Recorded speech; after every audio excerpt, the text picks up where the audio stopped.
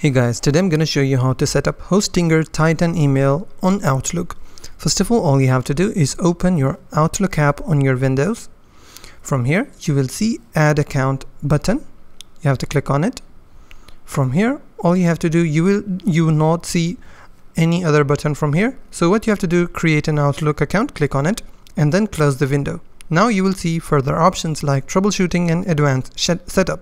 Okay, so all you have to do is type in your email. Let's suppose this is my email. From here, all I have to do is click on advanced setup instead of continue. Click on advanced setup.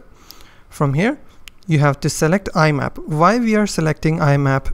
Because as you can see, the incoming server is IMAP and outgoing server is SMTP. So our incoming server is IMAP. So you have to copy that. Once copied, you have to open the Outlook again. Click on IMAP and enter your password of your email of your Hostinger Titan email. From here, you have to enter the incoming server, which is we have just copied. For example, imap.titan.email. And from here, you will see the port number 993. You have to confirm that our port number is 993 of incoming server because we are setting up the incoming server right now. And your, the security type should be SSL and TLS. We can confirm SSL and TLS now once confirmed, you have to type in your username and your SMTP password on here. Then you have to set up the outgoing server. So set up to set up the outgoing server, all you have to do is click all the details.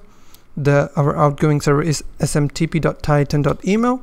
Our port number is 465 and encryption method is SSL and TLS.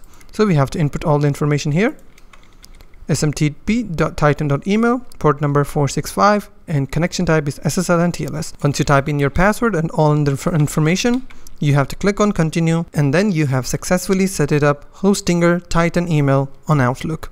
If you find this video helpful, please hit the like button and don't forget to subscribe.